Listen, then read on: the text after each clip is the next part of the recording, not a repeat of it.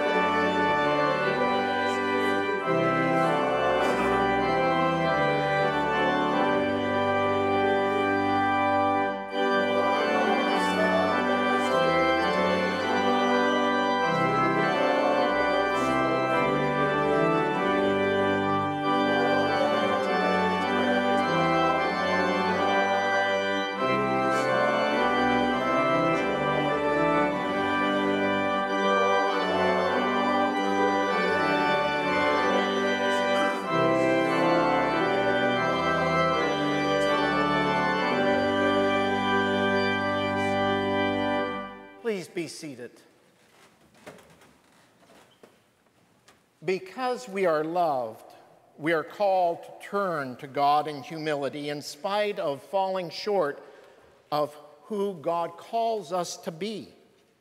Therefore, in faith and with confidence, let us now confess our sins to ourselves and to Almighty God. Let us join together in prayer. Holy God, you command us to love one another, yet we hold grudges, refuse to work for peace. You command us to care for all your creation, yet we neglect the earth and abuse nature through carelessness. You command us to walk in the ways of Jesus, yet too often we walk our own way. Forgive us, O God. Guide us as we work toward a new heaven here on earth. Lead us to reconciliation and a vision for your beloved community as we share your love with your people everywhere. Friends, hear and believe the good news of the gospel. In Jesus Christ, we are forgiven.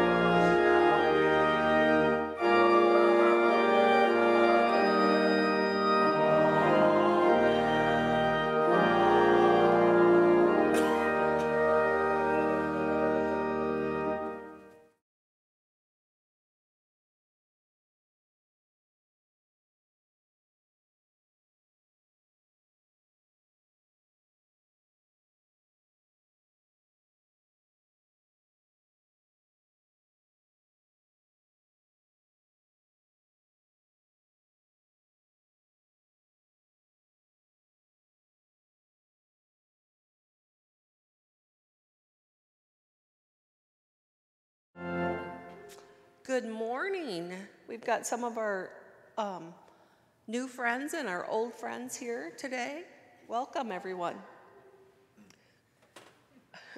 I just wanted to talk to you a little bit today about some things that we have going on um, with the um, FBI. And specifically, last Wednesday was our last session. And we had a game day, and Miss Molly missed it because she wasn't feeling well. But you were there, right? Did you have fun? Which game did you play? She doesn't remember. Did you do some drawing? oh, when she played a matching game, yes. Um, one of the things, um, Molly hasn't heard this yet, and um, neither has Elizabeth, I don't think. But we had donated some money um, at our bingo party. We had donated $30 to the Salina Public Library, um, $55 to Rolling Hill Zoo, and $140 to the Ukraine Relief Fund that um, went through the church. Um, we got, I got a really nice phone call from the Salina Public Library thanking us for our donation. Plus, I got a, a thank you note from them today.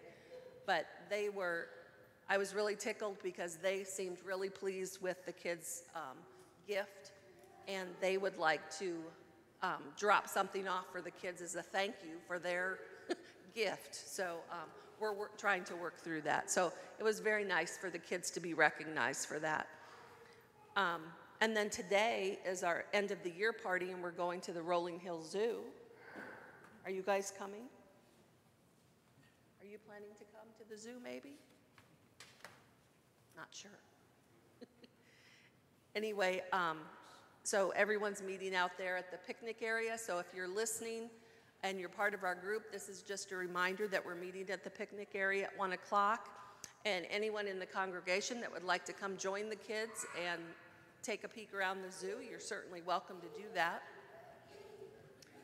And then my last thing I'd like to visit with you about today is the Heartland Traveling Camp that takes place June 13th through the 17th. And so far we have, between our church and Sunrise Presbyterian, we have 17 kids signed up. We can have as many as 39. So um, we're starting to look outside of our small group of children that we serve. So if anybody in the congregation has nieces or nephews or grandchildren that might be visiting during the week of June 13th, or if you can make arrangements, they would certainly be welcome and we'd like to include them. So get in touch with me if that's of interest to you. And then um, we're in need of a couple counselors yet. So if anybody is listening or if someone knows of we need a 16 year old or older counselor. We're looking for one of those. And then we're, we're also looking for a junior counselor that might be might have just finished seventh grade, but yet younger than 16. Um, and then also anybody is welcome to um, talk to me about uh, volunteering for the. Uh, we're looking for some people to help with the crafts but you do not have to make up the crafts. You don't have to put together any of the crafts. You just assist the kids with whatever they're having them do. And that's about an hour each day. So if someone's interested in helping with that, we are looking for volunteers for that. Anything anybody else wants to share? Are you excited about the zoo today? okay, Miss Britton is. Okay, so let's say a prayer. Dear God, please bless these children today and all of our FBI kids and support them over the summer and keep them safe. Help us have a good day today out at Rolling Hills Zoo and also remember your animals and support them. Thank you for all you do for us. In Jesus' name, amen.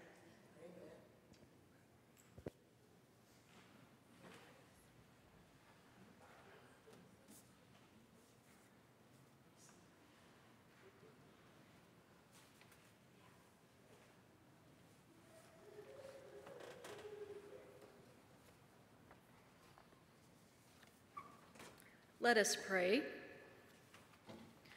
Loving Lord, may we joyfully hear your word so that we might unite, untie our faith, and unleash it in our lives. Amen. Our first scripture reading comes from Psalms 24, 1 through 6, and I'll be reading from the message. God claims earth and everything in it. God claims world and all who live on it. He built it on ocean foundations, laid it out on river girders. Who, who can climb Mount God? Who can scale the holy north face? Only the clean handed, only the pure hearted. Men who won't cheat, women who won't seduce. God is at their side. With God's help, they make it. This, Jacob, is what happens to God seekers, God questers.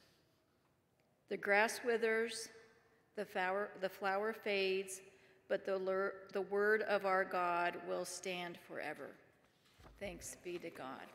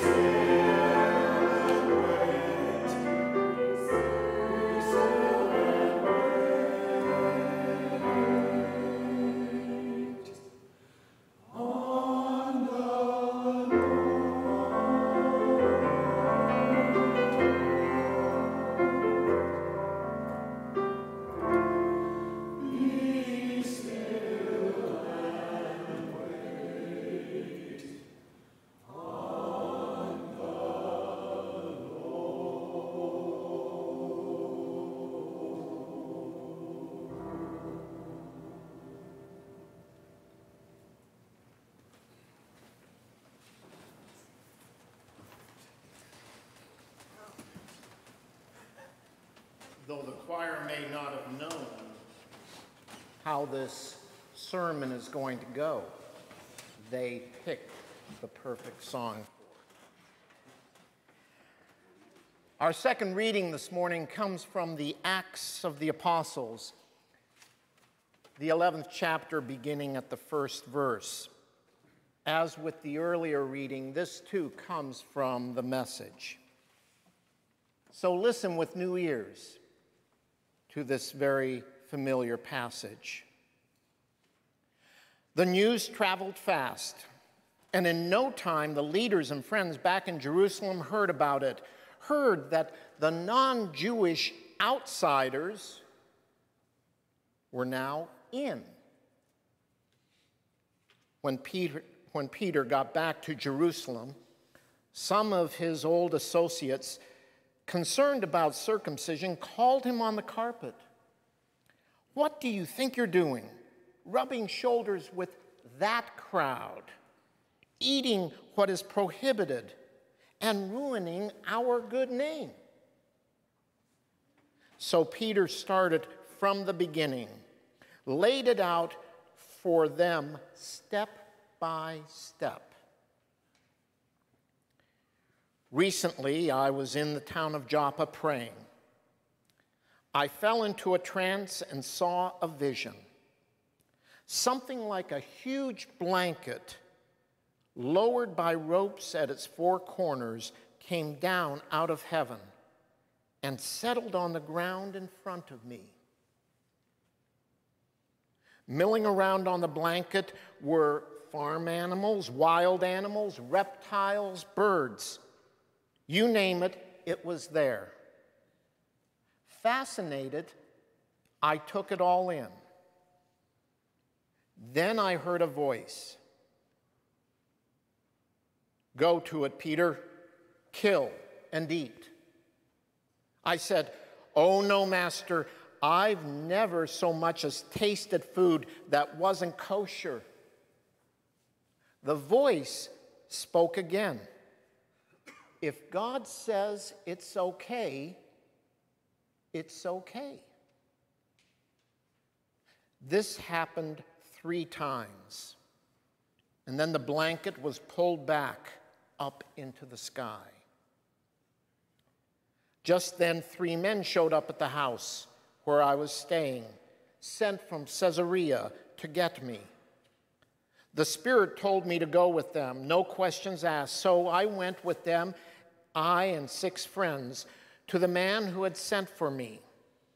He told us how he had seen an angel right in his own house, real as his next door neighbor, saying, Send to Joppa and get Simon, the one they call Peter. He'll tell you something that will save your life. In fact, you and everyone you care for. So I started in talking. Before I'd spoken half a dozen sentences, the Holy Spirit fell on them, just as it did on us the first time. I remembered Jesus' words John baptized with water. You will be baptized with the Holy Spirit.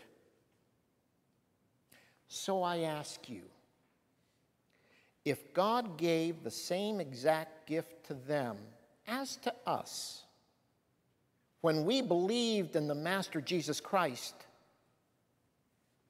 how could I object to God? Hearing it all laid out like that, they quieted down.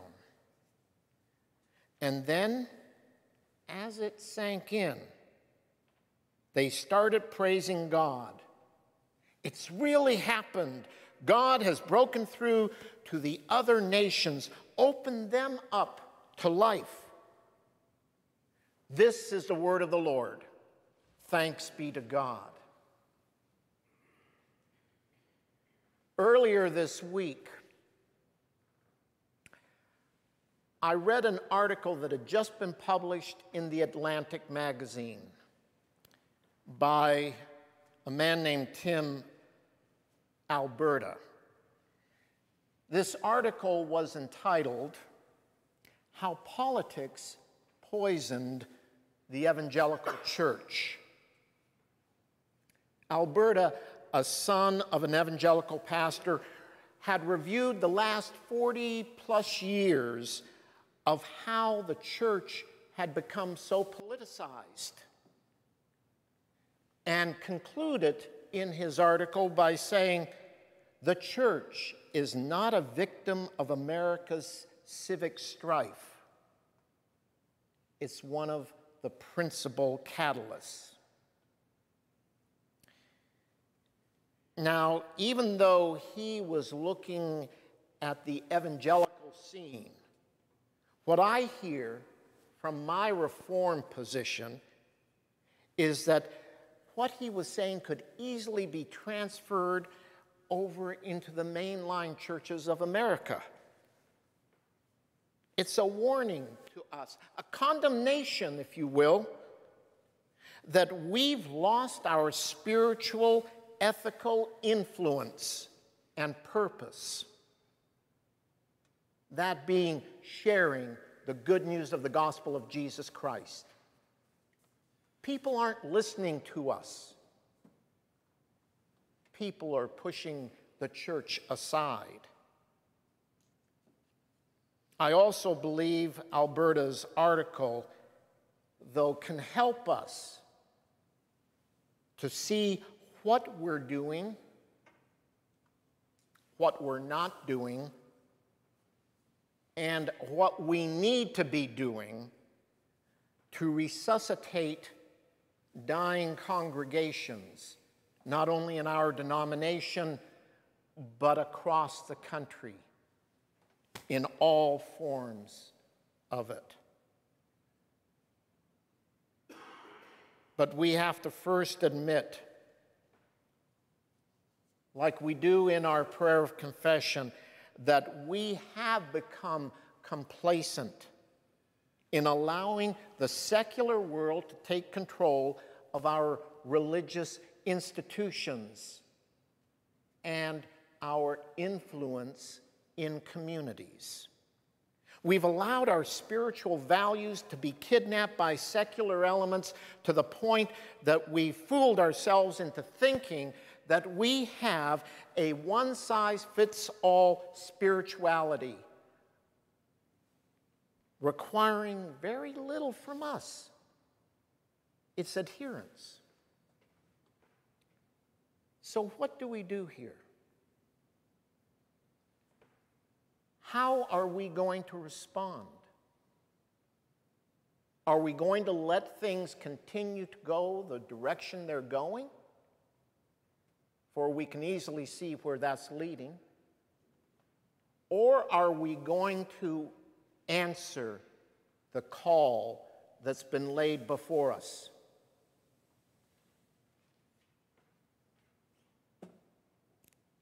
I think we need to start by remembering what Peter discovered and encountered in his own vision. And we have to begin to look outside the box of what we have been doing all these years. Because we need to find new ways to minister to Christ's people, especially those who aren't sitting here in this congregation today. Now, before going any farther, I need to also say I have always felt that a minister coming into a new congregation isn't there to change everything, but rather is there to be almost, if you will, a chameleon. In that, if anything changes, it should be his or her ideas of how to do things. Yes, in partnership with the leadership of the congregation, but not coming in with a heavy hand and not changing what is truly important the clergy person's values, core beliefs. Nothing should be changed there. But what we need to all be doing is seeking to find ways of taking our faith traditions, whether it be local or uh, institutional, and adjusting them to being heard in new and different ways, and yet be sincere and honest in reflecting Christ's agenda. For you see, Jesus came and spoke in a new manner, with a new language to the people. He realized that the breadth of those who were listening needed to be addressed. It needed to be made real for them. Those fishermen, those laborers, those farmers, those men and women, the accountants, the chefs, the cleaners, the lepers, the poor, the wealthy, the disenfranchised, the theologians, the people with special needs. He knew the language to use to touch their hearts, each and every one of them. And we need to find that language and touch their hearts as well. Could that be what we have been called to do today? Could that be what we have been called to proclaim? To talk to people in a language of faith but a language that they understand and can relate to. One that they can not only take in, but believe in. The fact is, I think we have lost our, their trust, and we have lost our influence. And we need to find ways to regain it once more. Alberta discovered this also as he referred to a Gallup poll that said that in 1975, more than two thirds of Americans expressed, quote, a great deal of confidence in the church, unquote. More than two thirds. Even in 1985, Organized religion was the most revered institution in American life. However, today, just 37% of Americans find confidence in the church. So, where do we look for where this erosion is happening? Who do we point the finger at? I'm afraid we need to be looking in the mirror because that's where it lies. For each one of us, as disciples of Jesus Christ, whether we're sitting in this sanctuary or listening to it on the radio or through the internet, each one of us is responsible for where the church finds itself today. And we need to find ways, as I said, of regaining the trust and the confidence of the people so that they can know and understand what it means to have a life based in Christ Jesus our Lord. We can no longer be wishy washy or lackadaisical about what we do or what we believe, because this, my friends, is serious business. And if we aren't willing to pay the price, to do what needs to be done, then let's lock the doors today and be done with it. It has to start with us recognizing our own responsibilities, and it has to start today with acknowledging that we have fallen short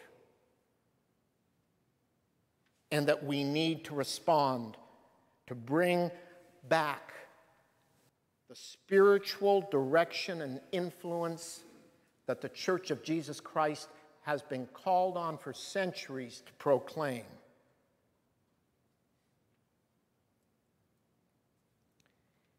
And I'm wondering now to myself, maybe we need to look at a different approach than what we've been doing.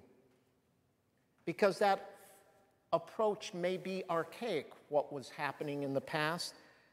It doesn't relate to the people who are outside the doors, it relates to the choir, to us. But we need to find a way to bring it to life for those who are, fr- frankly, biblically illiterates. They haven't been raised in the gospel. They haven't been raised with the knowledge of what it means to be a follower of Jesus Christ. They haven't been raised with the ethical nature of what is contained in the scriptures. And sadly, we're seeing it as a nation this day. And I think Peter understood this fact, and he was willing to accept the challenge that was laid before him, whether he was aware of the full magnitude of it or not.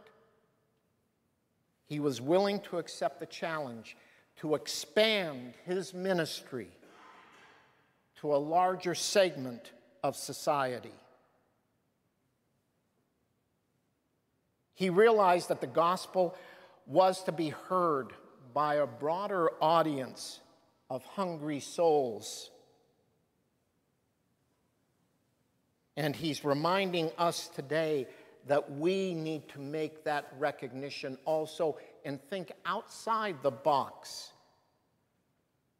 as to how we can share the good news of the gospel of Jesus Christ with one and with all. Now, I want to make sure that I don't leave you thinking something that I'm not trying to say. I'm not trying to say toss the baby out with the bathwater, if you will, because that's not the case. But what I'm saying here, more to myself than to any of you, is that our strength is in knowing the message that we've been given over the centuries. And our strength is to find new ways of sharing that old story to people who are desperately in need of it. So desperate that they don't even know that they need to hear it. And we need to change some things within how we approach all of this. A friend of mine years ago, not that many years, I'm still younger, uh, told me that he had been visiting some people on vacation. I don't know where it was, I don't remember if he told me that. But they lived in a gated community.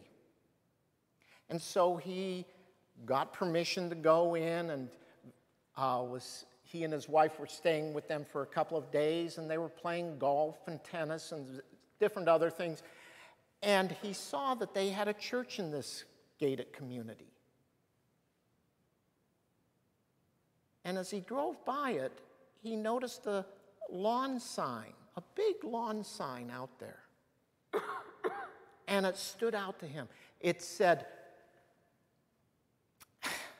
believe it or not, members always welcome. now, I know what they were trying to say. The members of the gated community were always welcome to come. But think about it a second. What if we put outside on 8th Street or 9th Street a sign that said, Members always welcome? What's the unspoken message? It's so easy for us to unintentionally proclaim a message to a select group of people, unintentionally saying we only want our kind. O oh Lord, forgive us, for we know not what we do. It's far too easy and certainly far too comfortable for us to practice what I would call their spiritual nepotism, only focusing the gospel on those we have previously selected. And by doing that, we unintentionally and silently kill unconditional love, the very love that Jesus lived for and died for. So, what can we do to reclaim that path that reflects what we truly believe and what honors Christ's gospel? There could be many suggestions that we could all come up with, but let me just highlight two this morning. The first is we need to be vigilant in honoring that simple yet profound commandment that Jesus Christ gave to us love one another. Note here, it's love one another. It's unconditional love he's speaking of. It's not a love that we attach to a specific person, it's not a social or societal group that we are looking toward. It's not exclusively a nation that we are considering. It's not only those who believe what we believe, but it's all of God's creation that we are to love. Each and every one of them no matter their skin color, their place of origin, their sexual orientation, their political persuasion, their citizenship, or anything else. Everyone needs to receive the gospel message. And it's not to be delivered in a sort of, kind of, well, I'll get back to you. It's to be given with enthusiasm, with sincerity, with honesty, with genuine authenticity. For as the Lord has given to you, so you also must give. Secondly, we're to live out we're to live out your mission statement, which is one of the most beautiful mission statements that stands out to me time and time again. To be frank with you, my friends, it's what captured me as I was meeting with the uh, search committee looking for a transitional minister. The part of it says that stood out to me is led by Christ, together in faith and love, we joyfully think, question, grow, and serve. I hope you memorize that and that you try to live that out each and every day because if you just even try to do that, you will be successful for this is who you are.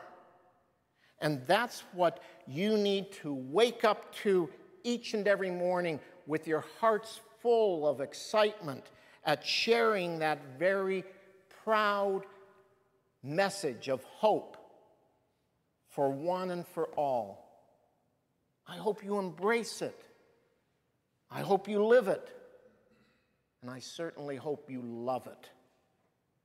Don't be afraid Don't be afraid of what God has called you to do here at First Presbyterian Church, here in this community that you've served for now over 162 years.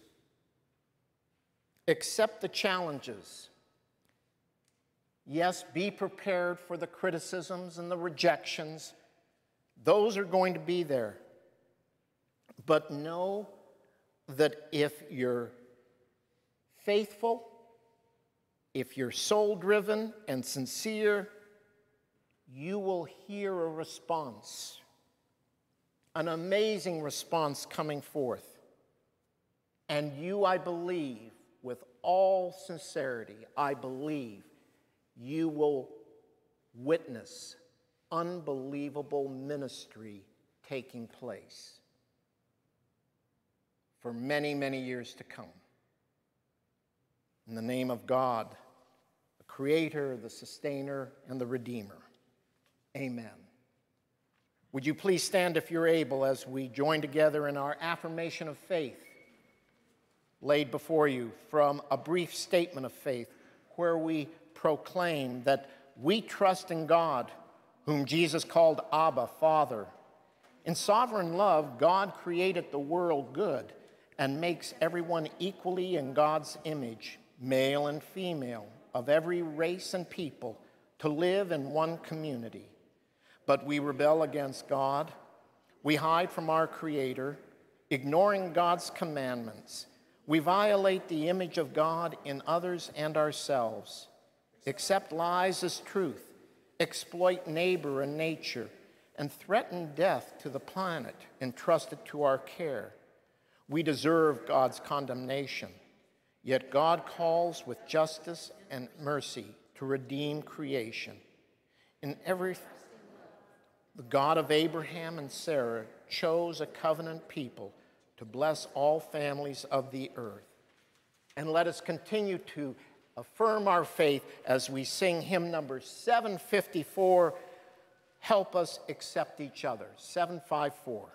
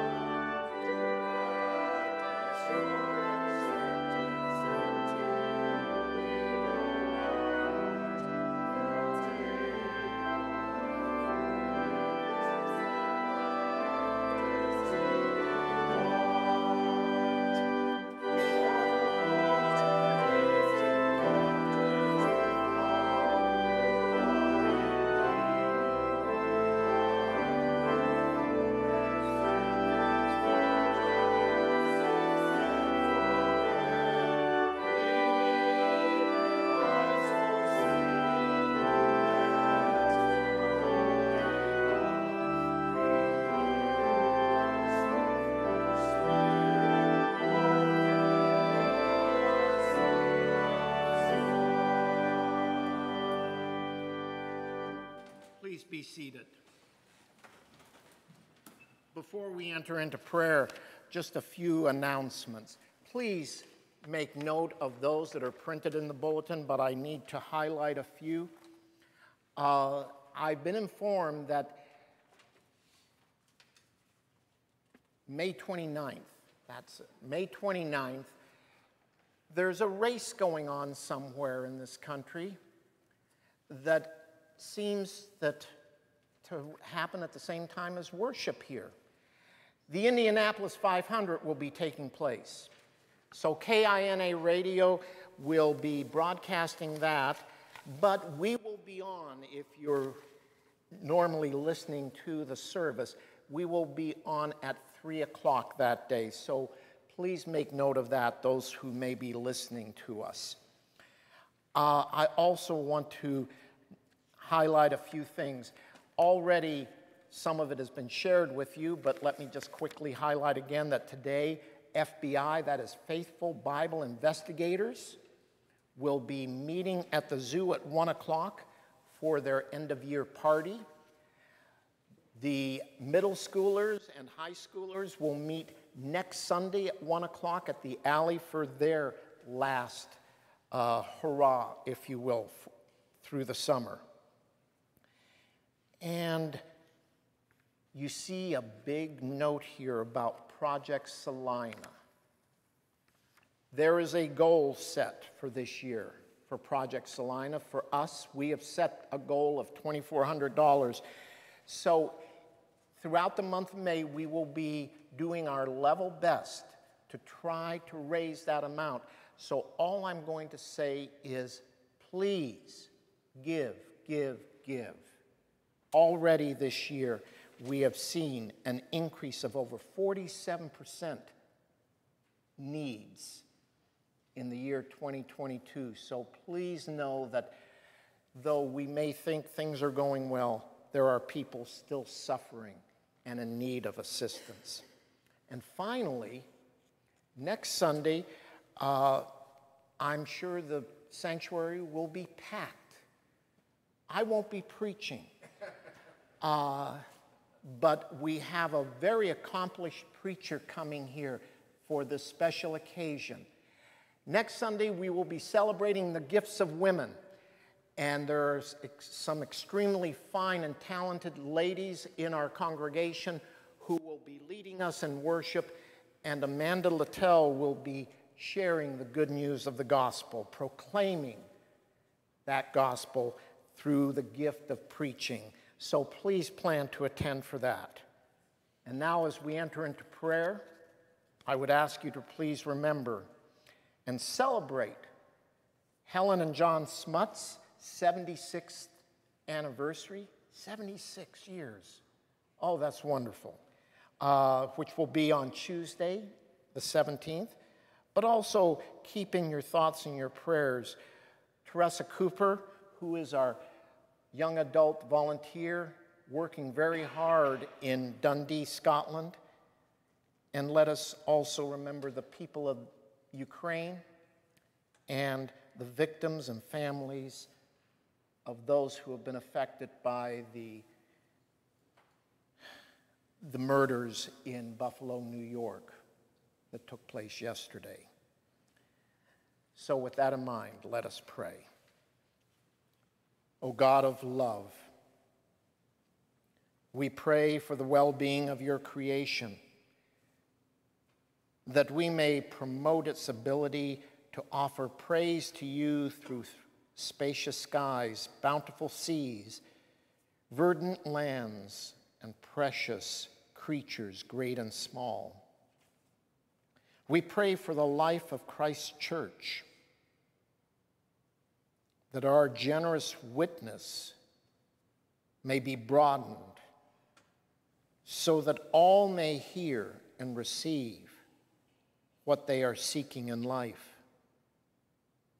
We pray for the welfare of your world, that all leaders and people, young and old, may strive to live together in harmony while serving the common good.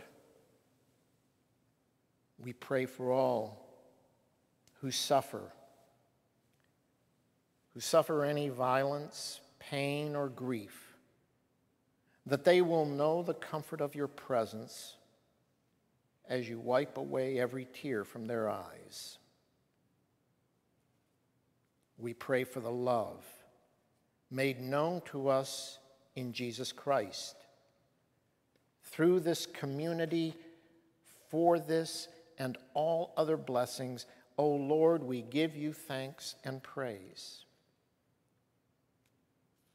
And we pray for all who have died, that you will bring them to the fullness of your joy, where mourning and pain will be no more. Gracious and loving Spirit, you have blessed us in so many ways, and you've answered our prayers. Sometimes with our understanding, and sometimes beyond our understanding. But we do give you thanks. We give you thanks for all that you have done for us, especially through the one who is risen, the resurrected Christ, whose prayer we join in saying together, Our Father, who art in heaven, hallowed be thy name. Thy kingdom come, thy will be done, on earth as it is in heaven. Give us this day our daily bread, and forgive us our debts, as we forgive our debtors. And lead us not into temptation, but deliver us from evil. For thine is the kingdom, and the power, and the glory forever. Amen.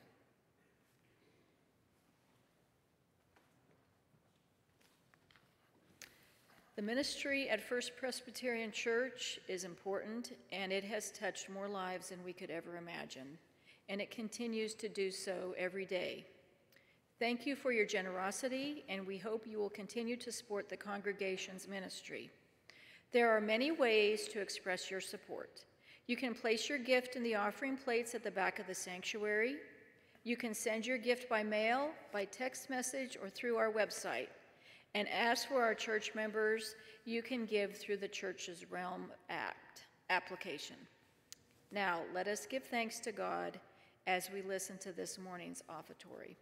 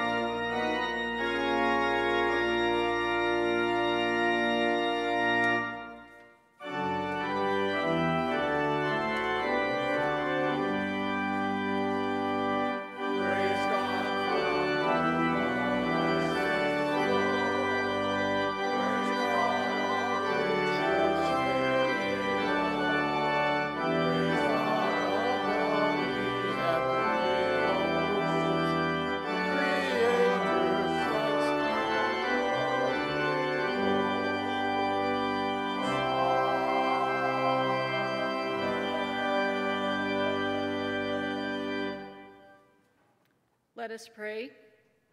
Loving God, we give thanks for the ministry of reconciliation to which you call us in the name of Jesus Christ and his res- resurrection. Accept these gifts for your mission to heal all creation. May they be a testament to your love to us as we share them in love for you. Through Jesus Christ, we pray. Amen. Please join in our closing hymn, number 300 We Are One in the Spirit.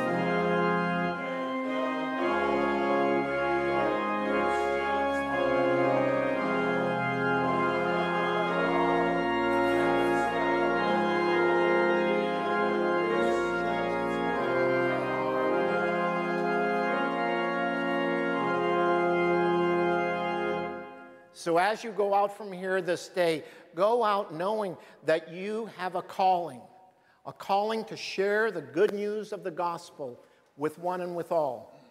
Do it with love, and God's love will be expanded outward, touching the lives of so many people.